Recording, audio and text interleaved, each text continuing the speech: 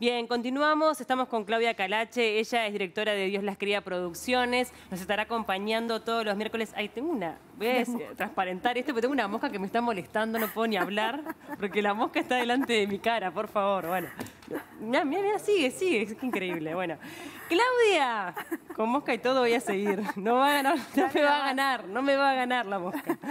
Claudia estará con nosotros todos los miércoles de enero y febrero. Gracias por acompañarnos. Al contrario, gracias a ustedes por la invitación. Ella es compañera acá del canal porque también es conductora de Diseñarte TV, así que, eh, bueno, vamos a estar hablando de arte, de eventos, de cosas que están ocurriendo en este momento en diferentes puntos del país. Vamos a arrancar con un evento que, bueno, ya terminó, pero que de verdad es muy importante. Sí, sí, bueno, justo arrancábamos hablando de arte con Agó Páez, ¿no? Este, un ícono en la zona, por supuesto. Y bueno, justamente este evento va por allí, fue en Maldonado, fue en Punta del Este. Y vamos a hablar de, este arte, la Feria Internacional de Arte, que esta es la octava edición, con Laura Bardiel como directora. Eh, es un evento realmente muy importante para, todo lo que tiene que ver con el ecosistema artístico. Maldonado es un punto muy fuerte eh, en el arte en diferentes lugares, porque no mm. solamente tiene que ver con lo que son las galerías de arte. Tenemos, bueno, eh, lo que es el Casa Pueblo, tenemos la Fundación Achugarri, tenemos ahora hace muy poco también este, la Fundación Amalia Amoedo, que es una residencia artística. Entonces, mm. hay una ruta artística muy, muy importante este, que, digamos, tiene como punto también de encuentro esta feria artística que se realiza en Punta del Este todos los años. Algo similar como puede ser a este Arteba o Artbo en, en Bogotá, bueno, en Miami, Madrid, en fin. Esto es una apuesta muy importante. En este año en particular, después de lo que fue la pandemia, eh, de todas maneras, igual, ella, Laura Bardieres, es la señora del medio, que ella es la curadora de, esta, de, esta, de este evento. Bueno, ella trabaja en Nueva York, trabaja en Italia, en fin. Este, ha tenido también esa visión de que en Uruguay faltaba una feria de arte y bueno, y se la jugó, digamos, para hacerlo. La verdad que es muy interesante. Este año, eh, digamos, fue un perfil mucho más regional por el tema de la mm. pandemia, obviamente.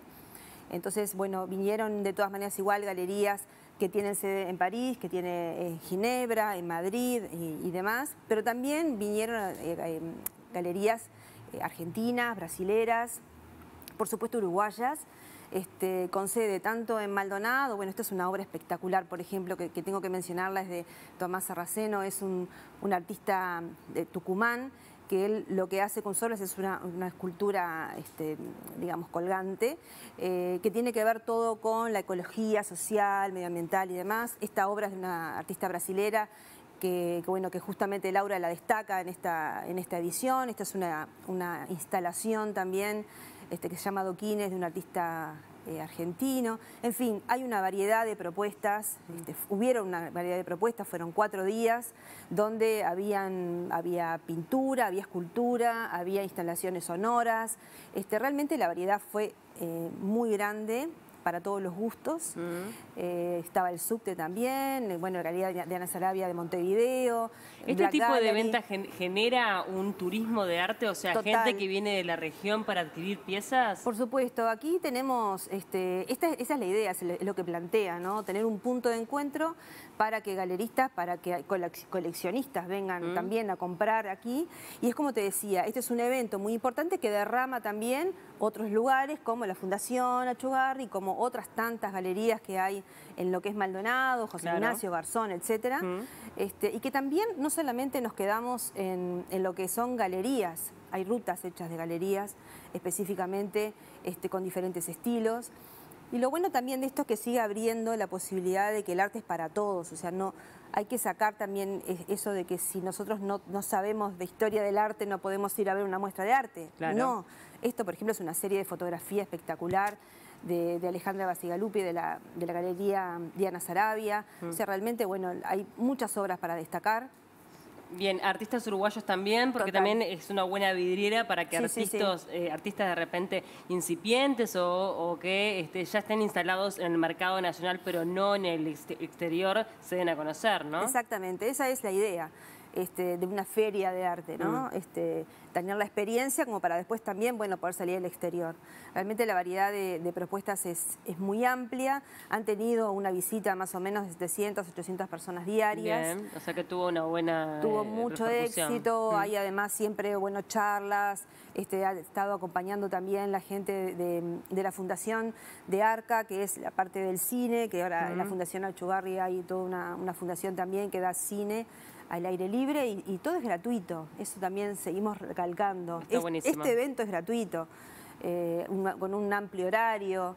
Entonces este, es, bien importante resaltar el trabajo de, este esfuerzo, de lo que significa para el arte mm. acá en, Uruguay. Claudia, hablemos, salgamos un poco de este tema, bueno, de esta feria que ya culminó exitosamente, hay que esperar qué es lo que pase en el próximo año, en 2023, pero hablemos de una propuesta que sigue vigente todos los miércoles eh, de enero y febrero, ¿es? No, todos los días. Es todos los días, ah, pensé que era una vez por semana. No, no, no, no. no arte en las bodegas. Arte en la bodega. ¿Qué pasa? Como te decía hoy, el arte en Maldonado no solamente está específicamente en las galerías, sino también en otros, en otros espacios, como hoteles, como restaurantes y como por ejemplo bodegas. Este, en este caso, la bodega Garzón está realizando una muestra abierta todo enero y todo febrero eh, con tres artistas uruguayos, mm. donde hay un diálogo muy particular entre ellos tres. Son tres artistas bien diferentes, con propuestas bien distintas. Javier Abdala, es uno de ellos, eh, Gonzalo Papantonakis y Rodrigo de Castro.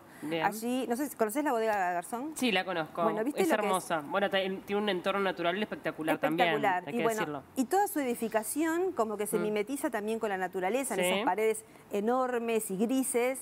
Entonces nosotros tuvimos el desafío de hacer una muestra de arte allí, en los tres pisos, en toda mm. la parte del restaurante, en la parte VIP de lo que son los eventos y en la bodega. Eh, entonces realmente se ha, se ha formado una muestra muy interesante, por allí teníamos también las, imágenes, para poder bien, ver, ves, esto por ejemplo es, Javier Abdala, es un, artista, bueno, todos tienen perfiles internacionales, esto es este, pintado también en acrílico, tiene una técnica de collage, es, el arte contemporáneo en esta muestra está firmemente evidentemente allí propuesta. Eh, esta obra, por ejemplo, pesa 60 kilos, está este, en una de las paredes principales de, lo que es la bodega. Acá tenemos otra obra de, también de Gonzalo Papantonakis. Eh, realmente, como te decía, son tres propuestas bien diferentes, pero que dialogan eh, muy bien dentro del entorno de la naturaleza de la bodega, dentro del entorno del edificio que no es para nada fácil. No totalmente. Porque el, minimalismo de esa bodega es, impresionante. Bueno, realmente eh, visitarla es un placer. Esto va a estar abierto todo enero y todo febrero. Es, una, es abierta a todo público. Así que realmente les, los invito a que, a que vayan a, a eh, visitarla. Está buenísimo porque uno puede ir al este del país y tener propuestas artísticas espectaculares. Recién mencionabas el tema de Maca, obviamente la fundación de Pablo Chugarri y bueno, y también ahí en la zona de Garzón tenés esta, propuesta también. O sea que si te querés hacer un recorrido artístico tenés un montón de posibilidades. Tenés un montón de posibilidades. Bueno, ahora el 14 de enero está abierto todo lo que es la barra, las galerías de la barra. Es, es, ir a hacerte un plan de recorrido y disfrutar y bueno, y a ver qué te pasa con las obras. Y con acceso gratuito, que también eso es, importante, porque a veces uno piensa que esto es absolutamente elitista y que es para unos pocos, y en realidad es gratuito, de libre acceso, todos podemos ir y disfrutarlo. Exacto. Y está bueno que vayas y que te guste una obra o que no te guste. ¿No? Porque eso se trata también. ¿Qué, te genera la obra cuando la ves? ¿Qué es lo que te trata también de transmitir el artista? Bueno, de eso se trata también la experiencia, ¿no? Como te decía, no es para, para que algunos vayan a disfrutarla, sino que para todos, diferentes edades. Realmente este, nosotros desde diseñarte, por ejemplo, que bueno, que nos, tenemos una línea mucho más de diseño quizás que de arte, pero igual la incluimos, pero desde la productora, por ejemplo, la cual dirijo, bueno, esta, esta eh, muestra de arte la hemos realizado nosotros con Victoria Pereira en este desafío realmente, aparte como verás son obras de gran porte, mm. difíciles inclusive hasta desde el montaje. obvio. Este, entonces realmente vale la pena disfrutarlo, conocer al artista, ver qué técnicas son. Este, no solamente ahí, ya te digo, tenés en Maldonado un montón. Vamos a ir también en estos, en estos este, días que nos quedan recorriendo otros lugares, no solamente Maldonado, porque eh, el arte se conjuga hoy en día con la gastronomía, con otras actividades. Eh, con diferentes locales que no tienen nada que ver con una galería de arte, con un museo. Pero que tienen allí obras que, son este, dignas de apreciar. Exactamente, exactamente. Este, Buenísimo. La verdad, este, nada, eh, Claudia Carache, nos hiciste como un recorrido, nos fuimos contigo con, con, con tu relato y las imágenes un poco a, a descubrir lo que fue tanto esta feria artística como la bodega Garzón, así que espectacular. Nos vamos a acompañar todos los miércoles. Todos los miércoles, a las 5 de la tarde, parece que sí. Así que no podemos tomar té por la, por la pandemia, pero No, si bueno. no te trae un tecito con mucho, con mucho gusto.